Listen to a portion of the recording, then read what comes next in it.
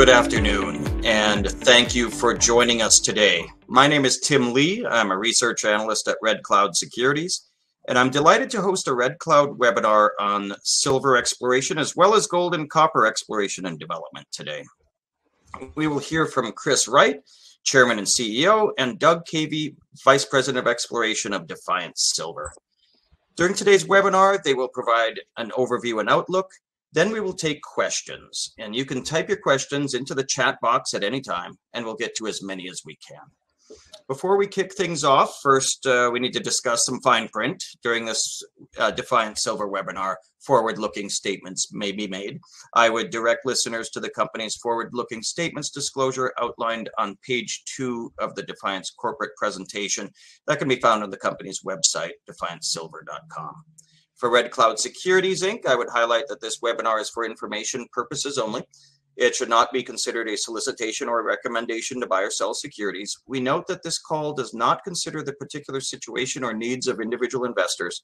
Participants should rely on their own investigation and seek their own professional advice before investing. Please see our most recent research located on the Red Cloud website for specific disclosures on defiance.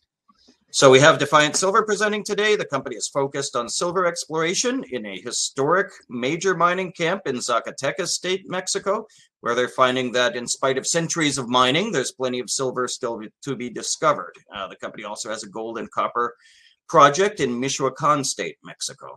Uh, with that, I now turn it over to Chris and Doug to update our audience on the company. Good. Thank you, Tim. Thanks for having us, and thank you everybody for attending. As um, as Tim mentioned in his uh, kind introduction, uh, that we will be making forward-looking statements, so please keep that in mind as we go through the presentation.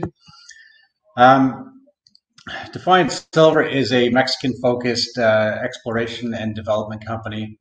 Uh, we're fortunate to have two legitimate standalone company-making assets. Um, our legacy asset, uh, which came to the company um, back in 2011 or so is our uh, San Acacio, or now we call it our Zacatecas Silver Project.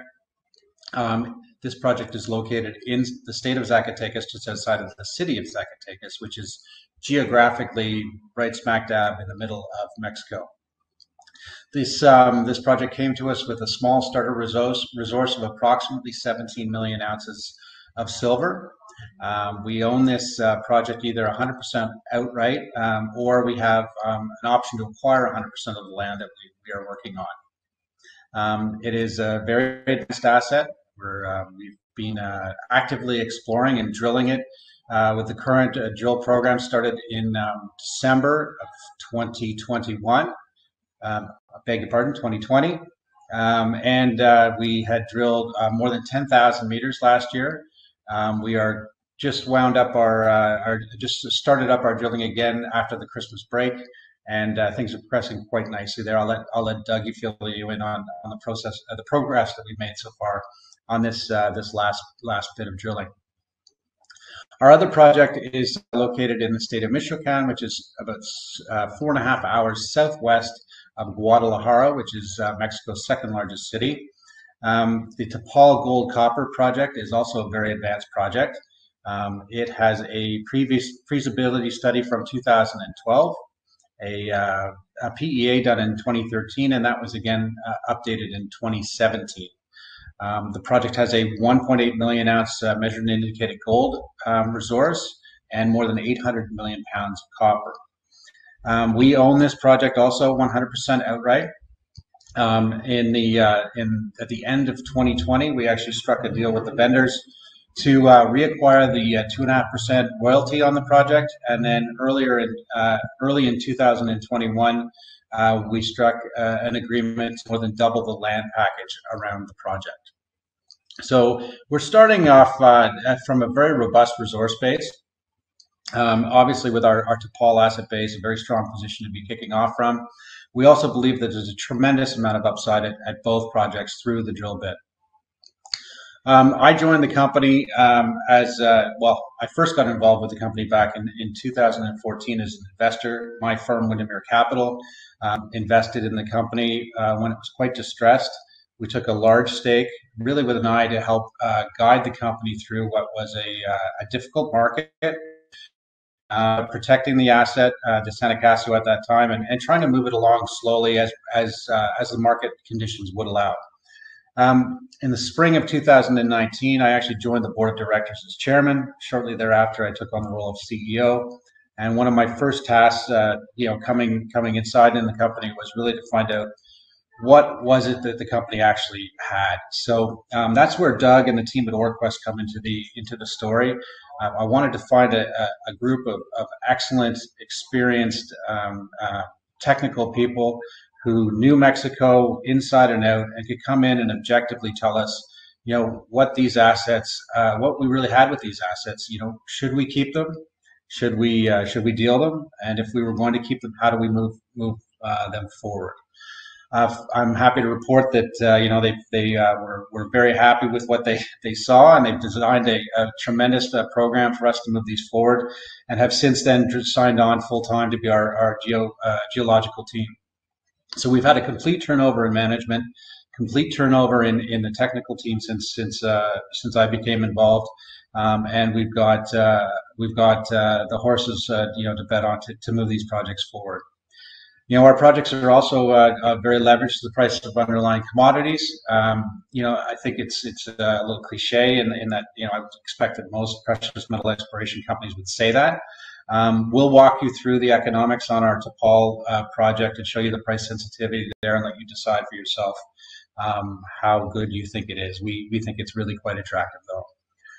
Um, I mentioned earlier that uh, my firm had uh, taken a large stake in in uh, in the company back in 2014. We still are the largest shareholder with a little more than 20% of the company. Um, we have uh, had some some success over the last year and a half almost with uh, with financing. We've diversified our shareholder base quite significantly with a quite a number of uh, well-known institutions coming into into the company. Um, many of them on on multiple occasions through the financings. Uh, we've raised uh, we've raised in the last uh, 15 or 16 months between uh, our two financings and warrants being exercised in excess of 30 million dollars. Um, so having such a strong uh, core shareholder in our firm, also with strong institutional shareholders and and insiders, uh, we have we're starting from a very strong shareholder base to to build this company going forward. Um, and uh, as uh, as I mentioned earlier, we're actively drilling. Work is ongoing. We've had we've had news uh, coming out pretty steadily since since the spring of last year. We expect to see more come. The drills are continue to turn, so it's an exciting time for us um, at the company with with lots going on. Um, our share structure is pretty pretty straightforward. Um, we have about 220 million shares outstanding. Um, our treasury is in very strong position. We have um, 16 million dollars in the bank, so our, our exploration programs are fully funded. We have a lot of flexibility to uh, to be able to uh, accelerate those, and expand those programs, if uh, if that's what we decide uh, based on the results that we get. That's uh, that's going to be the decision of the technical team and and and uh, solely dependent on on the results that we get.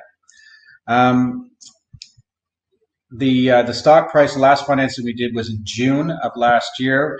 We raised um, eleven and a half million dollars at ninety cents a share with a half warrant at $1.35.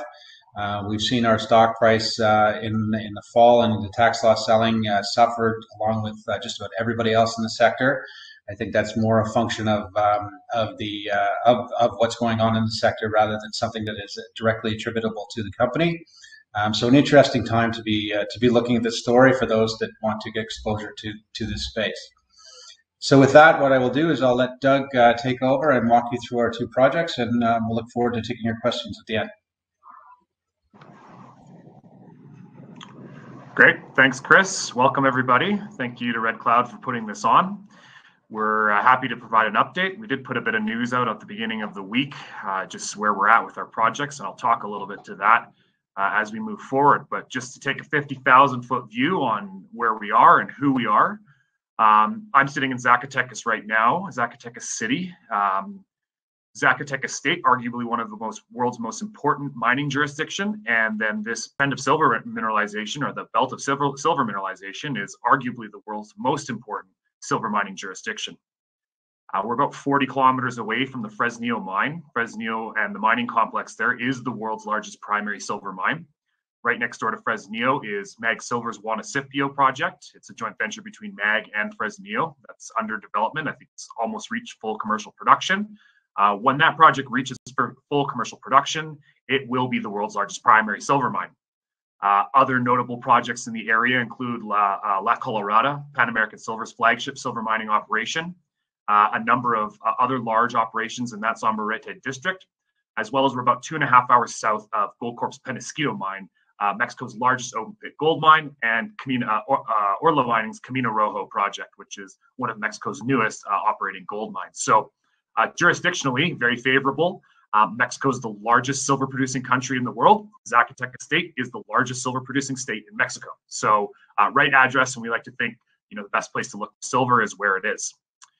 Um, we have a variety of, land positions really in the main Zacatecas district and a variety of ownership over those positions. So, in 2018, we purchased Mag Silver's Zacatecas district land holdings. It was an all cat or an all stock deal. Uh, with that came a 1,300 square kilometer database of the district. Um, we have the main San Acacio project where our resource area is located. And then we have the Lucita project, which we recently optioned off Pan American Silver and where we have been doing the uh, drilling as of recent. So our resource area is located in the main um, project, and then the Lucita area is where we've been doing some drilling. The thesis for us is that this project is like Fresnillo from the 1960s. So Fresnillo in the 1960s was out, or it was in marginal ore, mostly out of mill feed. They took a more philosophical approach, a discovery-focused geoscience approach, and began to look for additional mill feed. And in 1975, uh, as a result of a substantial amount of surface work and underground work, they found the Santo Nino vein. Santo Nino was a thousand grams silver, 1.6 grams gold, and a percent combined lead zinc. Um, in our initial first pass, we noticed that there was a number of very high grade and similar metal tenor uh, as these results from Santo Nino. And why that's important is it turned the lights back on for Fresnillo and it kicked off 40 years of spectacular exploration, development, and mining results, uh, most recently highlighted by the results uh, at Mag Silver's Juanicipio project, which will eclipse Fresnillo as the largest silver mine. So we know that stepping into these districts, testing the productive structures, really outlining which are the productive structures, uh, lead to very uh, substantial exploration and development discoveries. Um, up until Fresnillo had made these discoveries in the in early 1970s, uh, Zacatecas district, where I'm sitting right now, had produced more or more silver than the Fresnillo district. Uh, Fresnillo is now about a 8 billion ounce silver district. Uh, Zacatecas is still sitting at about a billion ounce of historical production. But that proof of concept of testing these productive structures, not only did it work for Mag Silver at Fresnillo, it worked to uh, the benefit of our neighbor uh, Capstone Mining's Cozamin mine, where they're over a thousand meters into their mineral system. Uh, whereas when they started that operation and they bought that operation in the early 2000s, uh, they had a very marginal and shallow resource that had been developed on that property. So we know these structures are productive. We know the history is there. It's just seen a paucity of modern exploration. And I think that's where we're seeing the success to date. So we follow a very linear exploration approach using discovery focused geoscience, building 3D models and testing these systems at depth and testing the controlling structures on this system. And that's what we identified through an aggressive mapping program uh, done in uh, early 2021, late 20, early 2021. And we found that there was a number of what we think are the controlling structures of the main Veta Grande resource area, or the main Veta Grande mine. Um, this mineral system itself has produced over 150 million ounces of silver and it's never really been drill tested below the 150 uh, meter elevation. Uh, there's some small mines that are about, not small mines, there's some pretty significant mine infrastructure that's down about 170 meters. Uh, but there's really, a, again, a paucity of drilling testing the uh, full limits of this uh, mineral system. The line I just drew on this image is about the approximate elevation of the current resource estimate at the San Acacio project. And you can see from the drilling that we released in uh, late 20 or sort of middle 2020, September 2021, um, we uh, outlined uh, a substantial body mineralization below the current resource estimate. Why that's important for us is we have been doing oriented core drilling. Um, we have been uh, getting real-time drill information and testing what we think are the controlling structures. Our technical team here on the ground has a lot of experience in big systems geology and big systems thinking, as well as resource building in these epithermal systems, which is quite important. Uh, this is a long section through the deposit. Um, you can see there is a building body of mineralization well below the current resource estimate, which is that hash line about halfway down the page. We've got drill holes testing the mineralization about 250 meters below that resource estimate. Uh, you can see there's a very clearly defined body, and we think that's the controlling structure there. Uh, when we tested that controlling structure, when we had a little bit of a better understanding with the surface mapping and oriented drilling, uh, we came back with the highest grade results to find silver's drilled to date on the property, uh, wide widths, of economic grade mineralization, uh, and high grade mineralization nested in between those wide widths. Um, infrastructure is great on this asset. It's a 500 year mining camp. The area is actually seen uh, long, longer than 500 year mining history. Uh, but because there's such a good, and it is a mining center, it's truly a mining center in Mexico.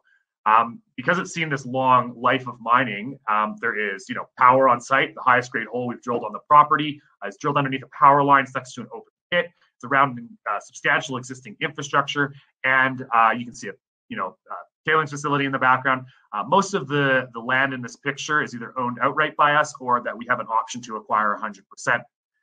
Um, one of the key pieces of infrastructure on this asset is the underground development that's here, and that's one of our um, advances for the next 12 months is to establish safe underground access, particularly with the focus of getting into these um, structures that look to have been a bit displaced from the original mining, which is likely why the old time miners hadn't found them. Um, get into them and start to begin to get underground, utilizing and and uh, creating some optionality with that substantial underground infrastructure on the asset. Um, as Chris mentioned, as was saying, we uh, entered into an agreement with uh, Pan American Silver to option a 100% ownership of their Lucita project. Uh, Lucita is a very important land package for us. Um, we had a large regional database that we got from Mag Silver, and some of the data that we had in there uh, highlighted uh, some very high grade structures um, that turned out to be what um, had not been drilled but had a program designed on them uh, by Pan American Silver. Um, we have, like said, an option to acquire 100% ownership. However, it's the only license in our entire portfolio that we don't have an option to repurchase the 2% NSR. Uh, we think that speaks to the strength of the project and what Pan American feels about the project. Um, but we do have a pretty clear defined path of what we're trying to do with our exploration on this asset. Um, the project area is broken down into three blocks. The north, the Panuco deposit, uh, and then, or sorry, the Panuco block, which was drilled by Pan American on a couple occasions and returned some very high grade silver results. Central Lucita block, which includes the Palenque vein system, the Palenque and and uh, and San Pascual vein system, which is over four kilometer strike length of uh, of a mineral system, and then the sort of southern block, which abuts our our uh, our San Acacio deposit area. Um, we started drilling this property in November 2021. Uh, we're still continued drilling. I think we're on the 12th hole onto this property right now. And that was what our news release was really about the other day, just giving an update. We're over 3,000 meters of drilling to this property. Uh, we'll do about 4,500 meters of drilling and then sort of step back and have a bit of a technical review to design the program from there. Um, our thesis of this was to test and screen the property, first with a, a large mapping campaign, and then by followed up diamond drilling on approximately one kilometer centers across the system. As I said, you know, this maps up to uh, hole 2210, um, but we're actually uh, another two holes into the system right now, basically stepping along the entire length of the Palenque San Pasqual vein system, um, as we feel it's a very robust emerging vein camp. It's got a lot of historical surface a uh, surface results um, up to 700 grams per ton silver. There's lots of old surface workings, little shafts, underground workings, kind of all over the place on this property. And our target was identified through a regional targeting program, but then as well a mapping program that went uh, that was underway until about December last year. Um, infrastructure is great on this asset as well. It abuts our San Acacio license, it abuts our Tawadis license, which we also have a couple holes into, and uh, uh, Mexican Toll Highway and Autopista crosscuts this property and San Acacio property. Again, there's roads everywhere. We mostly drill off of existing disturbed roads, uh, power to the site. And uh, like I said, we've done about 3,000 meters of drilling.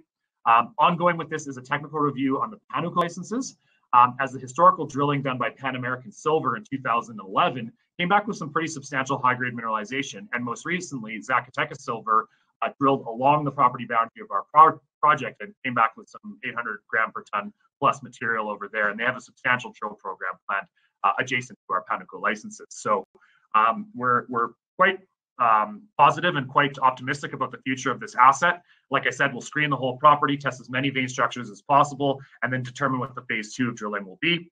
After that, we'll bring the drill back into the main San Acacio area, which is where you can see the historic drill, or sorry, the current drilling to the south, uh, and then begin to test the extent of that main system. So busy year in Zacatecas for the you know for the next 12 months. So what's our strategy? We know discovery-focused geoscience works. It's worked at our neighbor's capstone, uh, 3,000 meters into the mineral system. It worked fabulously for Fresnillo and their uh, joint venture partners, Mag Silver at Juanicipio, as well as the main Fresnillo structures. Um, and we're fully financed to do that. We have a very good team of people, very strong team of technical people here in Mexico. Um, and at the end of the day, we're trying to add ounces to an advanced asset. Our regional drill program started in November on the Lucita licenses. We've done over 3,000 meters there. Uh, I suspect we'll get to 4,500 meters quite quickly. And like I said, focused in on Tehuates, San Pascual, Palenque, and El Puerto. Um, and then we'll move the drill back over to Veta Grande to follow up on those high grade results that we put out earlier this year. So that's our, uh, you know, our our one project. But uh, adding to that is uh, Tepal Gold Copper Project. So um, was an acquisition, sort of a merger acquisition by Defiance in 2018. It used to be in a company called Geologix Resources or Geologix Exploration. Uh, some of you may remember that company as at the height of the last gold bull market in 2011. As a single asset company, Geologix had an over $200 million market cap on this asset alone. Um, we have 100% ownership, including an option to repurchase a 2.5% ownership, which we're paying down currently. We entered into that option uh, earlier last year. It has a large resource on it, uh, 1.8 million ounces gold, 813 million pounds of copper. Of course, 100% ownership of that measured and indicated resource. Um, it's got a long exploration history. It was found by uh, Inco in the 1960s, uh, Hecla, and Teck subsequent work programs. And then it sat in the hands of a junior and then Geologix, who all in spent over $27 million with over 60,000 meters of drilling. It's got a PFS done in 2012, a PEA done in 2013, and an updated PEA was done in 2017. Um, there's infrastructure is great. You can drive to it from Guadalajara. It's about a four and a half hour drive southwest of Guadalajara. And the two closest deep sea shipping facilities, one of them is the largest concentrate shipping facility on the west coast of Mexico, and the other, Lázaro Cárdenas, is another large deep sea shipping port. Um, surface rights in most of the deposit area is held by private landowners as opposed to your traditional Mexico sort of three-tiered ownership that you have, like we do in Zacatecas here, where you have private, uh, sort of a, group of people, or you have a Ejido ownership, which is more community ownership. So, um, and that's part of the strategy of this asset is to uh, get long-term surface rights agreements so that you can take this from what on paper looks like a shovel-ready project to actually a shovel-ready project. The PEA that was done in 2017 demonstrates some pretty robust economics uh, at gold price of 1250 and a copper price of $2.50. It's got a post-tax NPV of $169 million, post-tax IRR of 24%, and a 2.3-year payback of initial $214 million capex. So pretty low barrier of entry for this asset as well. At 1,300 or at $1,500 gold and $3 copper, that post-tax NPV doubles to $345 million. As Chris says, this pro- this project and well most metals assets, but this project particularly is highly leveraged to the underlying commodity. Every $250 increase in the price of gold adds hundred or adds 200 adds $100 million to the post-tax NPV. So every $250 million increase adds $100 million to the post-tax NPV of this asset. Um, we see this asset as being a potential 10-year, 100,000 ounce a year producer. And that's by adding ounces to the back end through the organic addition of ounces through exploration and resource conversion, as well as uh, substantial exploration targets outside of that main um, resource area. We don't want to push the ounces from the front end into the back end of this mine life, as those front end ounces add to the two or, or you know benefit the low payback period of this uh, mine life from the 2017 PEA.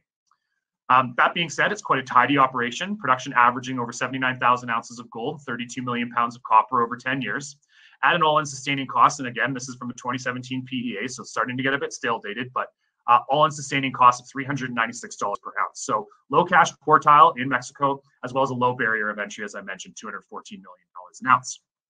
So how are we going to pull a rabbit out of the hat and add to that back end mine life?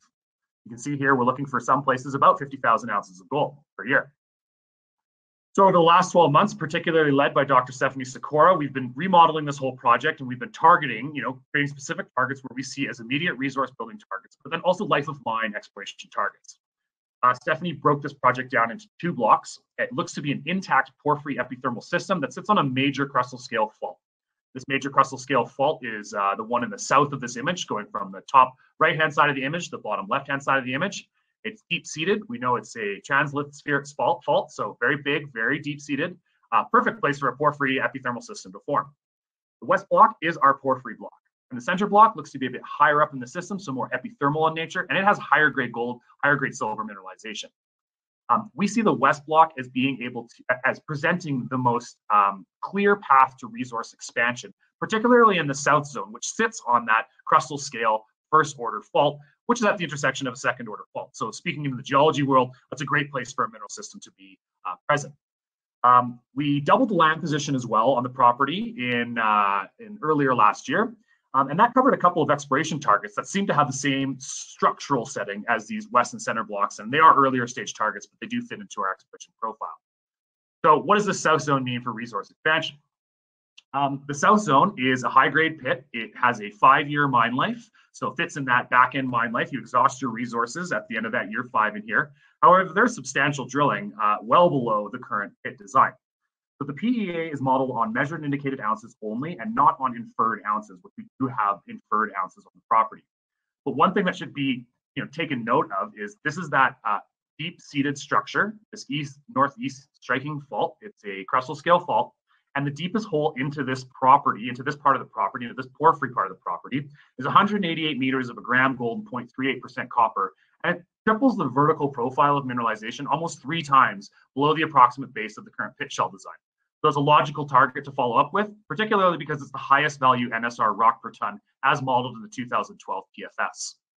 Um, along with this property, which of course is a logical exploration target, both in the resource conversion, taking inferred ounces and moving them into a measured indicated category through confidence drilling and upgraded drilling, testing this thing as deep as possible. We know this fault strikes deep or, or, or has very deep roots, uh, major fault, and so typically there is a, or, or we'll say there's a high confidence, high degree of confidence that there is existing mineralization below here, particularly because mineralization looks to be increasing in grade and in alteration at depth, getting into a hotter or more, you know, prospective area for porphyry mineralization.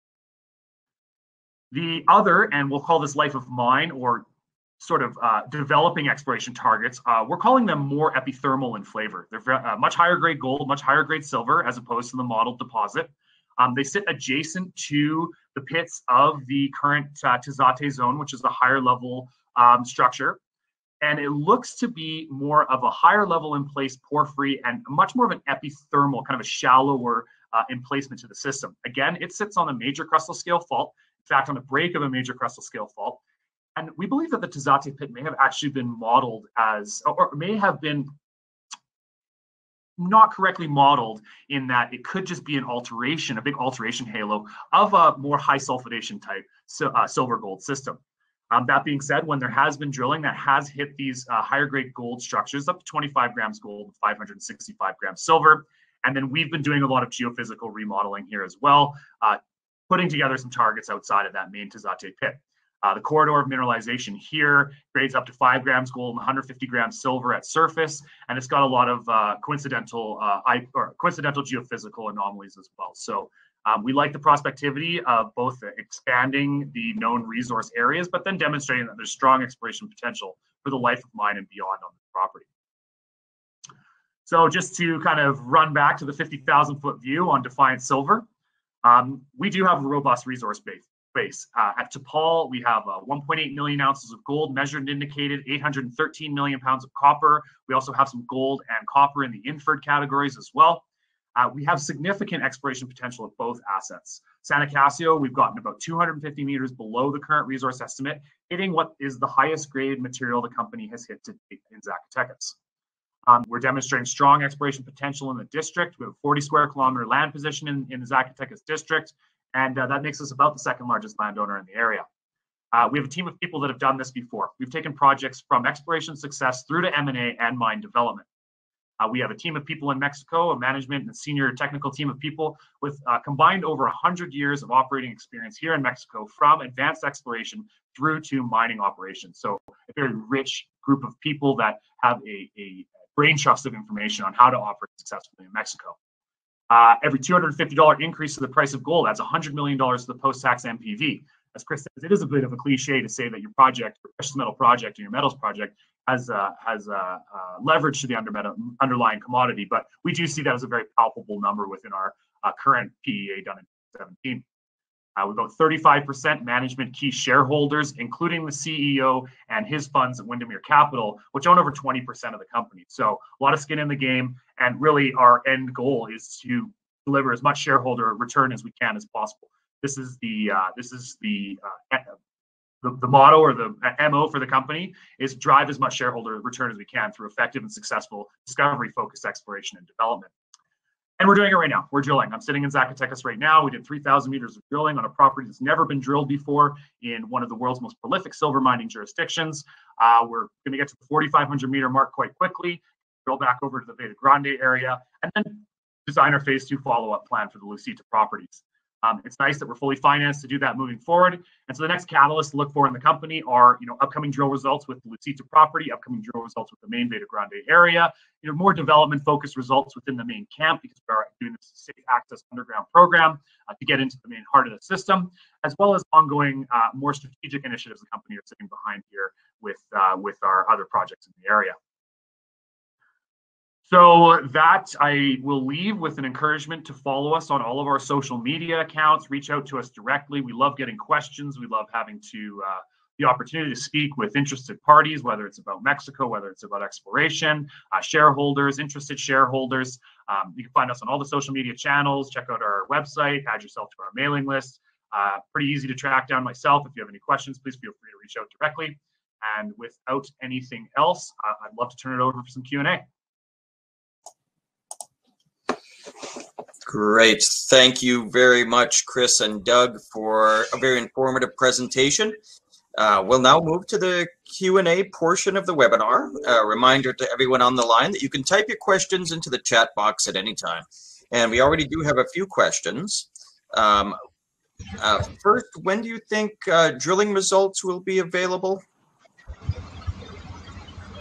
uh, from the current program? Yeah, so we're starting starting to see results trickle in. Uh, the first two holes we drilled were actually on the Tawade structure, which is a project. It's one of the oldest licenses, uh, oldest, longest held tenure licenses that the company has. Um, it abuts the Pan American licenses that we optioned, and we put a couple holes into there because there's some very interesting underground workings in that area. So those were really first pass screening holes. Um, those results are starting to trickle in we have a prep facility in Zacatecas, so we get a pretty quick turnaround from the lab. We don't have to get in in the line to prep our samples at the main uh, ALS labs in Vancouver or in Ireland. So we send them pulps, get the assays, and we've seen results as quick as four weeks, but we're kind of aiming at that three month level. So um, we are seeing results come in from the November phase of drilling, and then we did another uh, bunch of holes in December as well.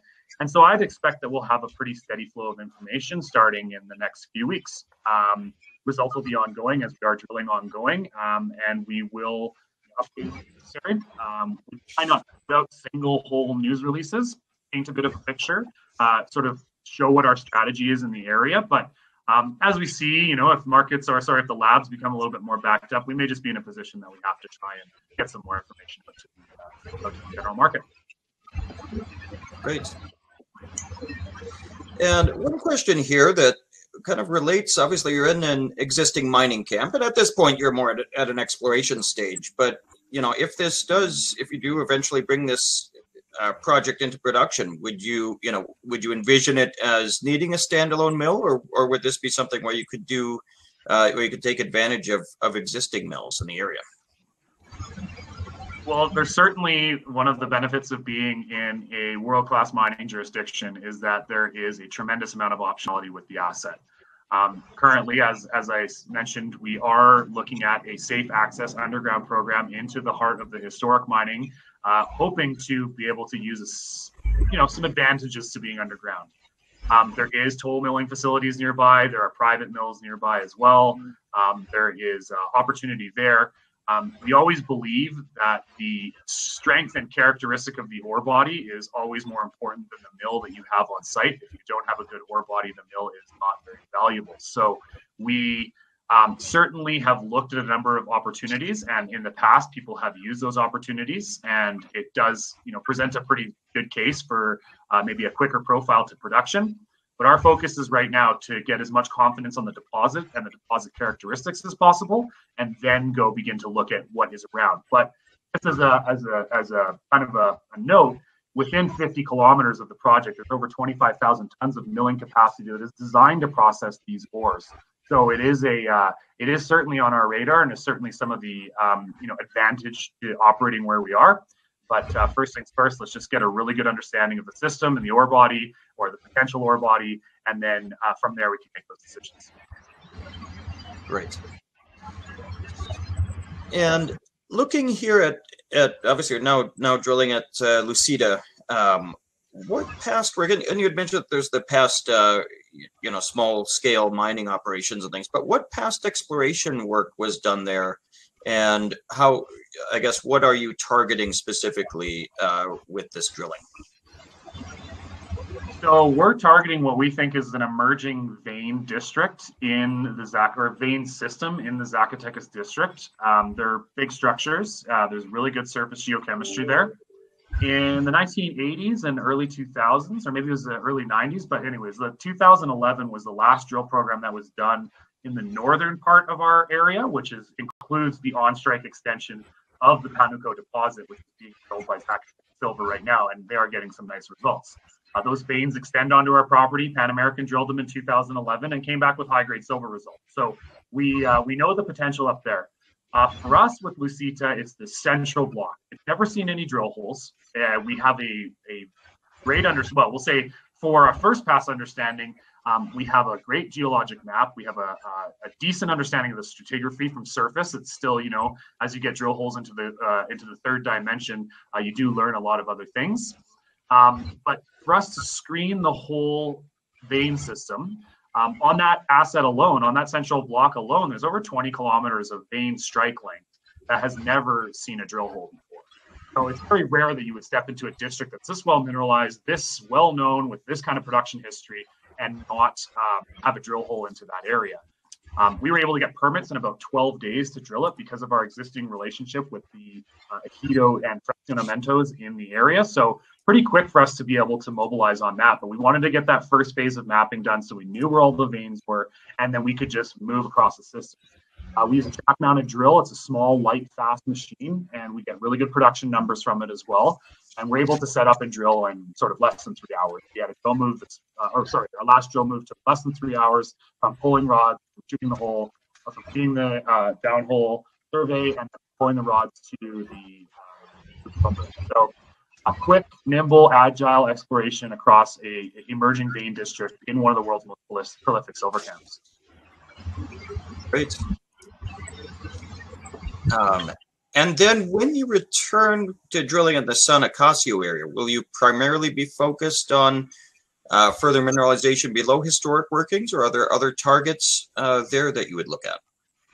Both. Yeah, we have what uh, we'll call it the south uh, east extension target, which uh, mineralization and mining ends quite abruptly. Um, and even for a, epithermal system, you know, it looks like it's quite faulted off. And and uh, you would you would still see even if you were out of the mineralization, you typically still see some type of veining, and we're just not seeing that at surface. And we think there's a, quite a large offset to that, and um, we've been focused in on that. So that's a true kind of brownfields exploration target outside of the historic mining. Um, also testing what we think is the control to mineralization in the Veta Grande system and testing the limits of that system. Uh, epithermal nature, epithermal systems are zoned in nature, so you, you're not going to have mineralization outside of the zonation of the mineralization events. And so testing where is that sweet spot of mineralization uh, with the knowledge of the controls of mineralization, which we found out identified through mapped uh, geology at surface, um, old historic underground um, modeling from the historic workings, as well as uh, oriented core drilling, which gives you a real time uh, structural uh, position of the vein system. And so putting those three things together, we started to really kind of key into what the control of mineralization is, both in the historic stopes, but then as well as these building mineralized bodies uh, as we released earlier or mid 2021. Great. And then shifting back to and you had gone over uh, some of the plans there, but will you be doing um, exploration work there uh, in 2022? Uh, we certainly hope to. The um, current initiative right now for us is to establish the key parameters that are required for your long-term surface mining operations. So long-term surface access, um, looking at the resource upgrade, how to design the program around that, and then getting in and completing that work. So there's a few strategic initiatives that we're working on and very diligently working on that are going to guide our timing for exploration on that asset. Um, we have very clearly defined targets that are well within our resource area, or we'll say within the um, dimensions of the resource area. And so when we do get uh, onto the ground or we do initiate that exploration program, I think it's going to be pretty fast for us to get things uh, get things demonstrated or test the test the concepts and the uh, the models that we've built on that project. So I'd like to say it's going to happen in a certain period of time, but it's really we're letting some of the um, some of the behind the scenes uh, and it's heavy lifting um, guide our timing. Um, and hopefully in 2022, you'll see a drill spin on Tepal.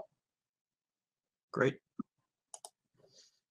Um, and one question here, generally on on Mexico and the overall uh, climate toward toward mining there. There's been a little bit of concern in recent months with uh, permits for our, an operating mine that seemed to be denied and and then came back, perhaps. Um, have you seen has that any of that affected you at all or are you able to to do your work as as you need so um, we're in one of the principal mining centers of mexico um, rarely do you hear negative news related to permits in the zacatecas durangos chihuahua sonora uh, sinaloa rarely do you hear um, much on the negative news flow from respect to permitting and and social license with mining operations.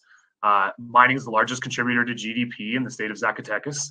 Zacatecas is the largest silver producing state in Mexico, and Mexico is the largest silver producing state uh, country in the world. Um, Mexico is a huge country.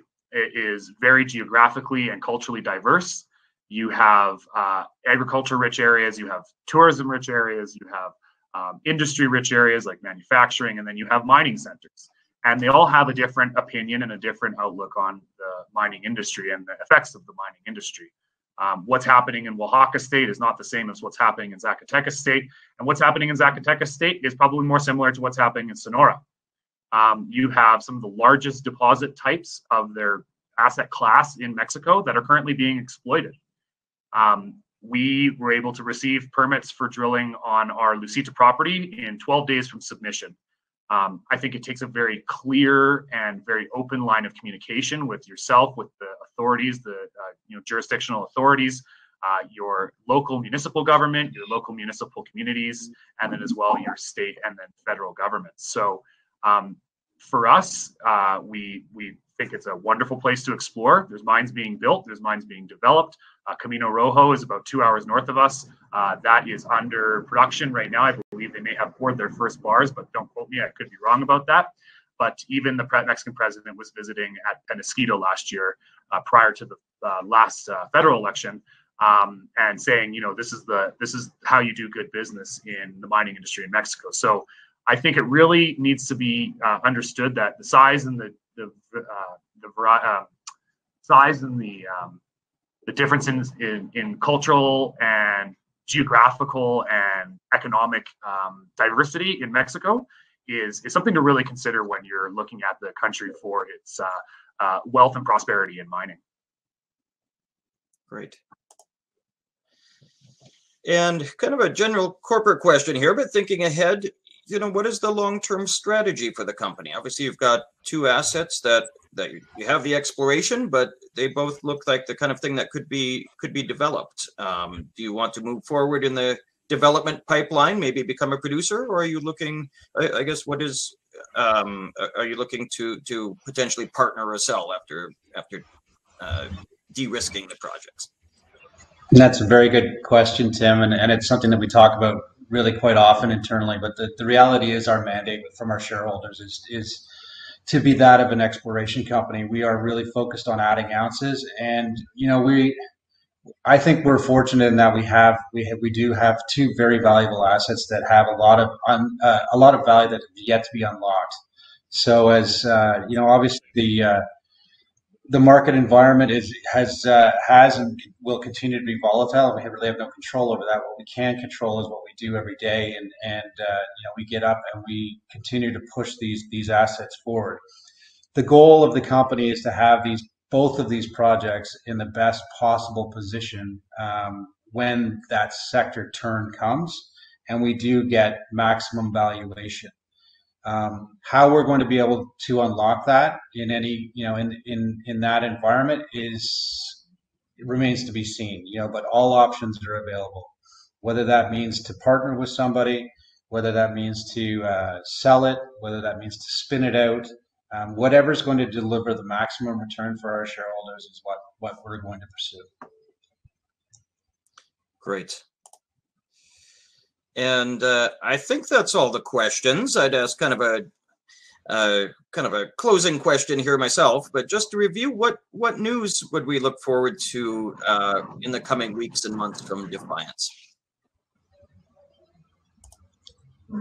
Well, I you know I think Doug touched touched on it uh, pretty pretty clearly. There was we were running through sort of the drilling program, and that's that's uh, I think where you're going to see a lot of the, the near term news flow. We've uh, We've got holes that have uh, that are in at the labs. We're starting to see uh, some results trickle back. It's uh, not as simple as the results just coming back and throwing in a news release. There's a lot of analysis that needs to go into into the data and the results that we get back and modeling that and, and really seeing where we're at. We don't we've really trying to change the philosophy of the company in, in that we're not looking to just sort of drill and, and slam as much news in the market as we possibly can. We're we're trying to define an ore body here. We're trying to find ounces. We're going to do our work. We're going to be uh, very uh, deliberate and pragmatic about our approach. And when we have something meaningful uh, to report to the market, we'll put it out. Um, and we're we're now we're an exploration company. We expect to be to be drilling uh, not for X number of meters, but perpetually drilling until we get to the point where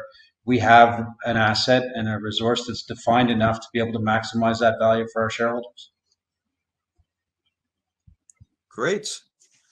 Um, well, I'd like to again thank uh, Chris Wright and Doug Cavey from Defiance for presenting today.